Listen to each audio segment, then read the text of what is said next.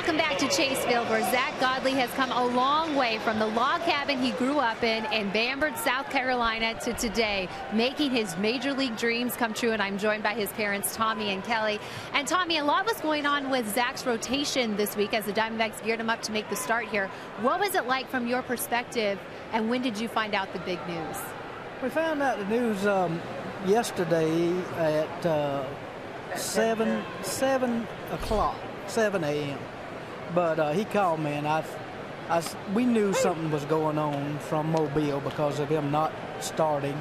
And uh, when he called me, he says, "Got some news." I said, "Boy, if you tell me that they sending you back down," I said, "I, I said we're gonna have to hurt somebody." No, Daddy, I'm going. To, I'm going to pitch against the Brewers tomorrow night. And then that's when I told him, I says, how in the world I'm gonna make plans to go to Phoenix in one day. But we did. We're here, and we couldn't be prouder of it.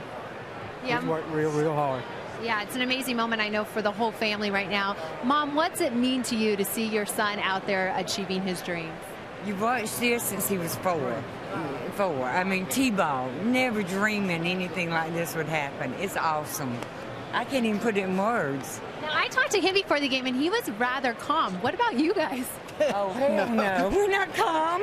I'm not calm. I didn't mean to say a bad word. I'm sorry. Beat that out. No, I'm calm. I'm not calm. No, we're, it's, it's We very nerve wracking here. Yeah. It's not been since, you know, when he was in college. Uh, you know, 1A, 2A.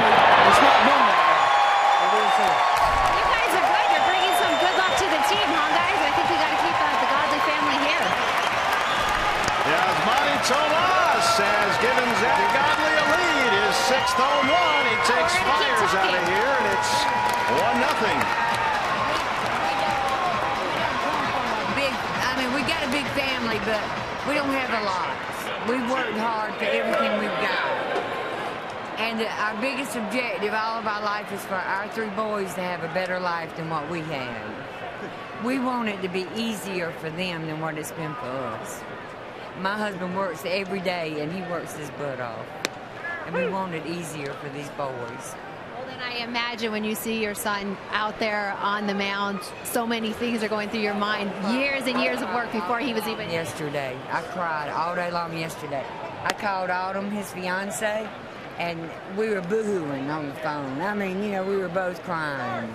Why did Why does your son deserve this moment after all these years of hard work? He's supposed to be playing football, honey. He's supposed to be playing baseball.